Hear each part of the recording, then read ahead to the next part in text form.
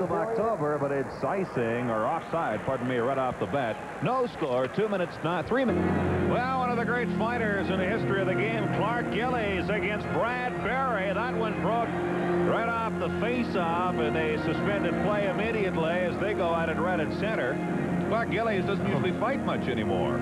No, he hasn't had to because of the respect that he gained for all the years that he did throw them pretty good. Those two guys are about the same height, but I think Clark Gillies has got a little bit of weight on Brad Berry and ended up on top of him. Yeah, Clark Gillies incredible strength.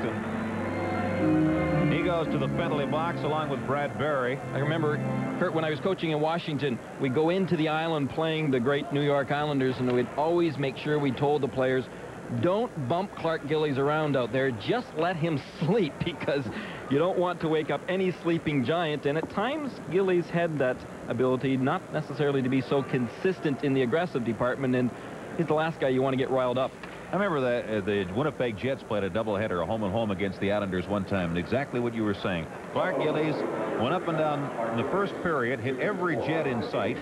The next five periods, he didn't touch anybody, scored a couple of goals, and was outstanding this? Or? Right there. Okay. Oh, they're a little ahead of, we're a little, just prior to them, them fighting. Uh, the two players came together. Their sticks came up.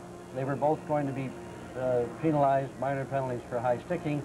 At that time,